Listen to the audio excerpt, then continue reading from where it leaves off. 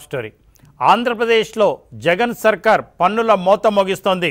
అందిన కాడికల్లా బాధేయాలి అనే సిద్ధాంతం ఫాలో అవుతున్నట్టుగా ఉన్న చట్టాలను సవరణ చేసి సామాన్యుడు ఇల్లు గుల్ల చేస్తోంది. పన్నులు కట్టాలంటే ఆస్తులు అమ్ముకోవాలా అనేంతగా వాటిని పెంచారంటూ తీవ్ర విమర్శలు వస్తున్నా ఏమాత్రం తగ్గటం లేదు. ఆస్తి పన్ను చెత్త పన్ను ఈ నీటి పన్ను టాయిలెట్ పన్ను లైబ్రరీ పన్ను ఇతర ట్యాక్సులతో ప్రజలపై పెద్ద భారమే పడుతోంది. పట్టణాల్లో అద్దె ఇళ్ళలో ఉండేవారి బతుకు మరింత భారం చేసేలా ఈ బాధలు ఉందనే మాట వినిపిస్తోంది. ప్రజలు కరోనా కష్టాల్లో ఉంటే ఈ పన్నులు పెంచి హింసించడం ఏంటని విపక్షాలు కూడా ప్రశ్నిస్తున్నాయి. రాష్ట్ర వ్యాప్తంగా ఆందోళనలు చేపట్టాయి. ఇప్పటికే సామాన్యుణ్ణి పెట్రోమంట భయపెడుతోంది. ఇది చాలదన్నట్టుగా ఇప్పుడు ఈ పన్నుల మూత కూడా తోడవుతోంది. నాడు విపక్షంలో ఉన్నప్పుడు పెట్రోల్ రేట్ల పెరుగుదలపై అంతెత్తున మండిపడ్డ జగన్ నేడు కిమ్మనడం లేదు. రాష్ట్ర ఖజానా ఖాళీ అవడంతో ఎడాపెడా అప్పులు చేసిన ఆర్థిక అవసరాలు తీరక ఆ లోటు పూడ్చేందుకు పన్నులు పెంచడమే మార్గం అన్నట్టుగా కనిపిస్తోంది. ఇటు ఈ పన్నులు పెంచే క్రమంలో ఇవన్నీ సంస్కరణల్లో భాగమేనని కూడా అంటున్నారు. కేంద్రం నిర్దేశించిన కొన్ని ప్రమాణాలు అమలు చేసేందుకే ఈ నిర్ణయాలు తీసుకుంటున్నట్టుగా చెప్తూ వేలును బీజేపీ వైపు చూపించే ప్రయత్నం చేస్తున్నారు. అయితే ఏపీలో పెరిగిన పన్నులను వ్యతిరేకిస్తూ బీజేపీ నేతలు ఆందోళన చేస్తున్న విశేషం ఐదేళ్ళకోసారి పన్నులు సవరించాలనే నిబంధన గతంలో ఉన్న పెంపు విషయంలో ఆచితూచే వ్యవహరించారు. కానీ ఇప్పుడు ఏటా బాధుడికి ఆదేశాలు ఇవ్వడం ఏమిటి? పేదల కష్టాలు విన్నాం చూశాం అని చెప్పేవారు మమ్మల్ని ఇంతగా ఎందుకు వంచిస్తున్నారు? అర్థం కాక ప్రజలు ఇబ్బంది పడుతున్నారు. విపక్షాలు చెప్తున్నట్టు ప్రజలపై పన్నుల రూపంలో ఇప్పుడు పదివేల కోట్ల రూపాయల భారం పడుతోందా? ప్రజల నుంచి ముక్కు పిండి పన్నులైతే వసూలు చేస్తున్నారు కానీ ఆ స్థాయిలో మౌలిక సదుపాయాలు ఎందుకు కల్పించలేకపోతున్నారు? చర్చిద్దాం. చిన్నప్పుడు విద్యార్థులంతా కూడా ఔరంగజేబ్ గురించి జిజియా పన్నుల గురించి పన్నులు వేసే విధానం గురించి ఒక చాప్టరే మనకు ఉండేది సోషల్ స్టడీస్లో.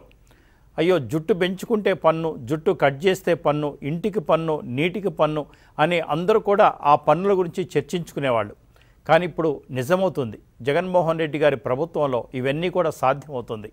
ఏం చేసినా పన్ను ఏం చేయకపోయినా పన్ను. టాయిలెట్కి పన్నులు ఏంటండి? ఎన్ని టాయిలెట్లు ఉంటే అన్ని పన్నులు. ఇంకా నయం. ఎంతమంది టాయిలెట్కి ఎన్నిసార్లు వేస్తే వెళ్తే అంత పన్ను అనలేదు. గడుపుకు గ- గడపకు పసుపు రాసుకుంటే పన్ను అనలేదు. లేడీస్ చీరలు కట్టుకుంటే పనులు అనలేదు జెంట్స్ ప్యాంట్లు షర్ట్లు వేసుకుంటే పన్ను అనలేదు స్కూల్ విద్యార్థులు స్కూల్కి వెళ్తే పన్ను. స్కూల్లో కూర్చుంటే పన్ను. ఇంటికి వస్తున్నప్పుడు పన్ను. ఇంకా చేయండి ఏమన్నా ఏమేం చేస్తారు? చెట్టు ముట్టుకుంటే పన్ను నడిస్తే పన్ను కూర్చుంటే పన్ను. అసలు పిల్లలు పుడితే పన్ను పెళ్ళి అయితే పన్ను. వేయండి చాలా చాలా ఉన్నాయి. సలహాలు కావాలంటే మేమంతా ఇస్తాం. వేయండి సార్. ప్రజలకి ప్రజలకి మీద పన్నులు వేయడానికి కోసమే కదా మనం వచ్చింది. కరెక్టే. జగన్మోహన్ రెడ్డి గారు సంస్కరణలో భాగంగా పన్నులు వేస్తున్నారు అనుకుంటే పొరపాటే. వారి నడకయాత్రలో వారేం మాట్లాడారో వారికే ఒకసారి గుర్తు చేద్దాం. Please PCR. బైకులు ఉన్నాయా అందరికి? అందరికి ఉన్నాయా ఈ బైకుల్లో పెట్రోల్ గాని డీజిల్ గాని పోయించుకునే దానికి పక్కన తమిళనాడు బార్డర్కు పోతే మీకు కనీసం ఏడు రూపాయలు తక్కువకు పోస్తున్నాడా లేదా లీటరు?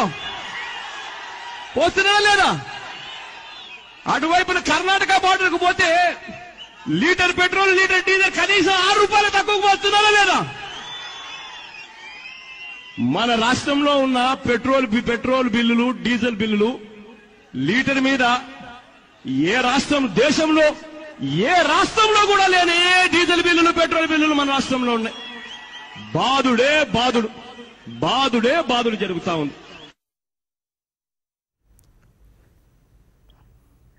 ఎస్ అసెంబ్లీలో మాట్లాడింది కూడా ఉందా మీ దగ్గర?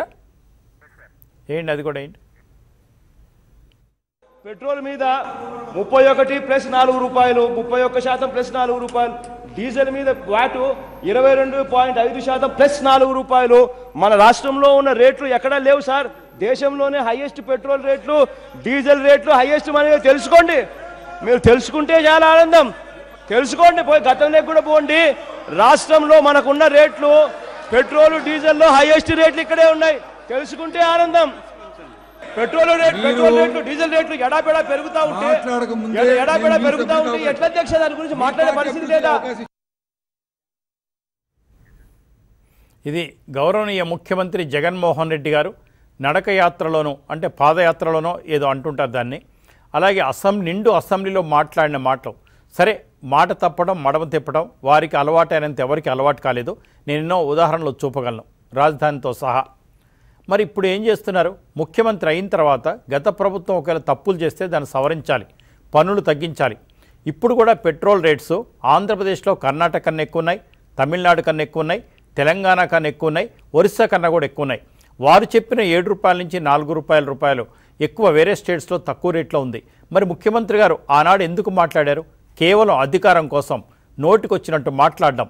ఏది తోచితే అది మాట్లాడటం అబద్ధాలు చెప్పటం అధికారంలోకి వచ్చిన తర్వాత అవే చేయడం అంతేకాకుండా ఈరోజు కొత్తగా పనుల విధానం. బాబురావు గారు సిపిఎం నాయకులు ప్రముఖ నాయకులు మనతో ఉన్నారు. వారైతే కరెక్ట్గా చెప్తారు.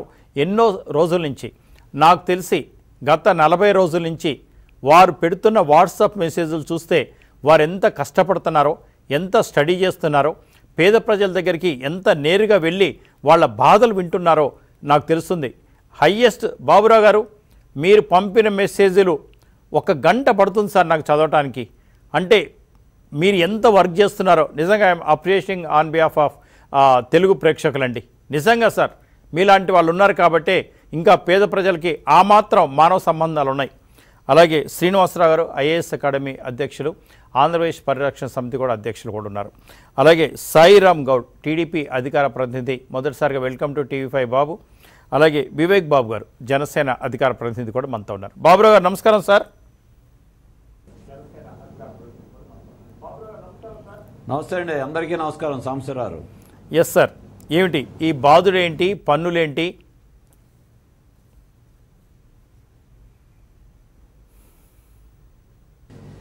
ఇది చాలా ఘోరంగా ఉంది. ఎన్నికలకు ముందు చెప్పిన వాగ్దానాలు ఒక భాగం మొన్న మున్సిపల్ ఎన్నికలు జరిగినాయి. మున్సిపల్ ఎన్నికలలో మూడు నెలలు జరగల. అసెంబ్లీ ఎన్నికలు అయితే రెండేళ్ళు.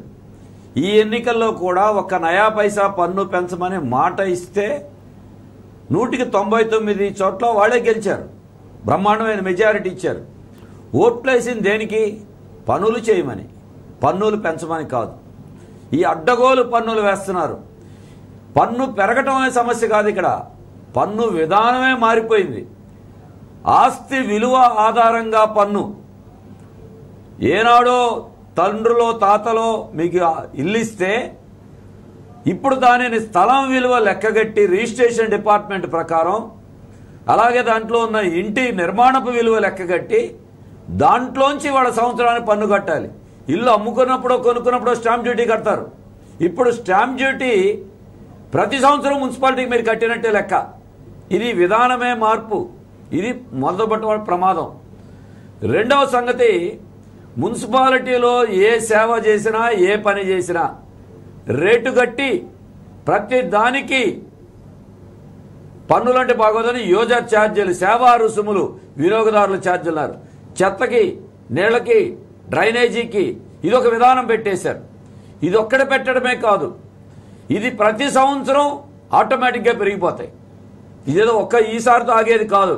అంటే శాశ్వతంగా పన్నుల ఊబిలోకి దించడానికి జరుగుతూ ఉంది. ఇప్పుడున్న సుమారు పన్నెండు వందల కోట్ల రూపాయలు ఇంటి పన్ను రాష్ట్రంలో ఉంటే అది పదివేల కోట్ల రూపాయలకి సంవత్సరానికి రెండేళ్ళకు చేరుకుంటుంది. చెత్త మీద పన్ను ప్రతి కుటుంబము సొంత వాళ్ళే కదా మీరు అన్నారు. అద్దెదారుల మీద కూడా నూట ఇరవై రూపాయల వరకు నెలకి అంటే సంవత్సరానికి పద్నాలుగు వందల నలభై రూపాయలు చెత్త మీద పన్ను కట్టాలి. మీరు జుట్టు మీద పన్ను అన్నారు. అప్పుడెప్పుడో కాదు. ఇప్పుడు కూడా జుట్టు మీద. ఒక బార్బర్ షాపులో మీరు జుట్టు ప్రతిరోజు మీ షాపు నుండి ఇంత జుట్టు వస్తుంది కాబట్టి మీకు వ్యాపారం చేసుకున్నారు కాబట్టి దానికి కూడా రేట్లు నిర్ణయించారు. ఒక కొబ్బరి బొండాల షాపో షాపో అలాగే ఒక రోడ్డు మీద బండి పెట్టుకునే వాళ్ళతో మొదలుకొని హోటల్స్ వరకు అన్నింటిలో కూడా. ఆ వ్యాపార సంస్థలకి సంవత్సరానికి రెండు వేల నాలుగు వందల నుండి లక్షా ఎనభై వేల రూపాయల వరకు చెత్త పన్ను ఉంది. మంచినీళ్ళు చెప్పడానికి వీల్లేదు. ప్రతి నెల వంద రూపాయల నుంచి మూడు వందల యాభై రూపాయలకి. ఇప్పుడు నీటి మీటర్లు కూడా రెడీ అవుతున్నాయి కొన్ని పట్టణాల్లో పెట్టడానికి. మరుగుదొడ్లు. ఇంట్లో ఎన్ని మరుగుదొడ్లు ఉంటే అన్ని మరుగుదొడ్లకి నెలకి నలభై రూపాయల చొప్పున ఆ మరుగుదొడ్లకి ఒక్కొక్క మరుగుదొడ్డికి సంవత్సరానికి నాలుగు వందల ఎనభై రూపాయలు కట్టాలి. ఇలా ఇన్ని రకాల భారాలు పెరగడమే కాదు ఇది ప్రతి సంవత్సరం కూడా పెరుగుతూ ఉంటాయి. ఒక్క చెత్త పన్ను వల్లనే రాష్ట్రంలో ఏడు వందల యాభై కోట్ల రూపాయలు సంవత్సరానికి వసూలవుతాయి. ఇది ఎప్పుడు ఇవన్నీ ప్రవేశపెడుతున్నారు? కరోనా కష్టాల్లో జనముండి బతకడమే కష్టంగా మారి ప్రాణాలు గుప్పెట్లో పెట్టుకుని బతుకు జీవుడు అంటూ ఎలాగో బతుకుదామని ఇవాళ అష్ట కష్టాలు పడతా ఉంటే ఈ కరోనా సమయంలో ఉపశమనం కలిగించాల్సింది ఊరట కలిగించాల్సింది పన్నులు రద్దు చేయాలి పన్నుల్లో రాయితీ ఇవ్వాలి. ఈ సమయంలో పన్నుల భారం మోపడం అంటే ఇది అన్యాయమే కాదు అమానుషం కూడా అవుతుంది. ప్రపంచమంతా ఆఖరికి అమెరికాలో కూడా వాళ్ళు ప్రకటించిన ఉపశమన ప్యాకేజీలు జీడిపిలో ఇరవై ఐదు శాతం అని మన దేశంలో అంటే ఊరికనే తూతూ మంత్రం చేశారు. ఉపశమనం ఇవ్వాల్సిన ఈ టైంలో ఇటువంటి పన్నుల భారాలు మోపడం గారు, చాలా అత్యంత. ఘోరమైనటువంటి విషయం. మరి ఇటువంటి విషయాల్లో చూస్తే ఈ పాపంలో సాంబశివరావు గారు ఒక్క నిమిషం. ఈ పాపంలో సార్ ఇప్పటి వరకు ఇంటి యజమానులు మాత్రమే ప్రాపర్టీ ట్యాక్స్ కట్టేవారు. ఇప్పుడు లీజుకుంటున్న వాళ్ళు కూడా కట్టాలి. అంటే పేద ప్రజలు సొంత ఇల్లు కట్టుకోలేక సొంత ఇల్లు లేక ఏదో చొప్పున ఒక రూమో రెండు రూములో తీసుకుంటే కూడా ఉంది. ఘనత వహించిన బొత్స సత్యనారాయణ గారు అద్భుతమైన ఒక స్టేట్మెంట్ ఇచ్చారు సార్. మూడు వందల యాభై లోపు చదరపు అడుగులు కనుకుంటే మీ ఇల్లు. అంటే ఎంతో తెలుసా సార్? ఇటు పదహారు ఫీట్లు అటు పదహారు ఫీట్లు. దాంట్లో బాత్రూమ్ ఎక్కడ ఉంటుంది? దాంట్లో వంట రూమ్ ఎక్కడ ఉంటుంది? దాంట్లో భార్యాభర్తలు పిల్లలు ఎక్కడ పడుకుంటారు?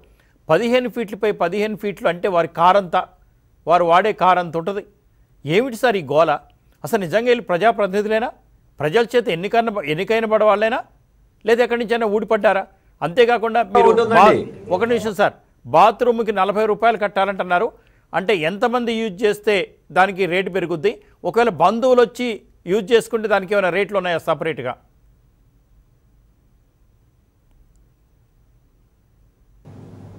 దీంట్లో ఒకటండి. పేదవాడికి నలభై గజాలలోపు ఫ్రీ అన్నారు. యాభై రూపాయలు అన్నారు. అది కూడా అబద్ధమేనండి. ఎందుకంటే చట్టంలో ఉంది తప్ప ఏ మున్సిపల్ కార్పొరేషన్ ఇచ్చినటువంటి నోటిఫికేషన్లో ఆ మాట పేర్కొనలేదు? అది వాస్తవం. మరి చట్టంలో పెట్టి నోటిఫికేషన్ ఎందుకు పెట్టలేదు? తర్వాత విషయం ఇప్పటికే చట్టంలో ఉంది. ప్రభుత్వం కట్టిన ఇళ్ళకి ఆరు నెలలకి రెండు రూపాయలే పన్ను వసూలు చేయాలని. చట్టంలో ఉంటుంది అది ఎక్కడ అమలు జరగదు. దానికి తోడు ఇవాళ కొత్తగా తీసిన దీనికోసం ఈ పన్నులు పెంచడానికి మున్సిపల్ చట్ట సవరణ చేశారు. ఎందుకంటే ఈ పాపం కేంద్రం రాష్ట్రం ఇద్దరిది పాపం ఉంది. అక్కడ బీజేపీ వాళ్ళు కేంద్రంలో ఉండి కరోనా కాలంలో గత సంవత్సరం మే నెలలో రాష్ట్రాలకి తాకీదులు ఇచ్చి మీకు అప్పు కావాలి. జిఎస్డిపిలో మీకు కనుక రుణ పరిమితి పెంచాలంటే మీరు ఈ పనులన్నీ చేస్తేనే మీకు రుణ పరిమితి పెంచుతామని షరతులు పెట్టింది కేంద్రంలో ఉన్న ప్రభుత్వం. అప్పిస్తామంటే ఎగబడి వెళ్ళేటువంటి రాష్ట్ర ప్రభుత్వం వైఎస్ఆర్ ప్రభుత్వం ఇవాళ దానికి లొంగిపోయి మేము ఎదురు తిరుగుతాం పోట్లాడతామని చెప్పినటువంటి ఈ ప్రభుత్వం లొంగిపోయి ఆ కేంద్రం షరతులు అమలు చేస్తూ ఉంది.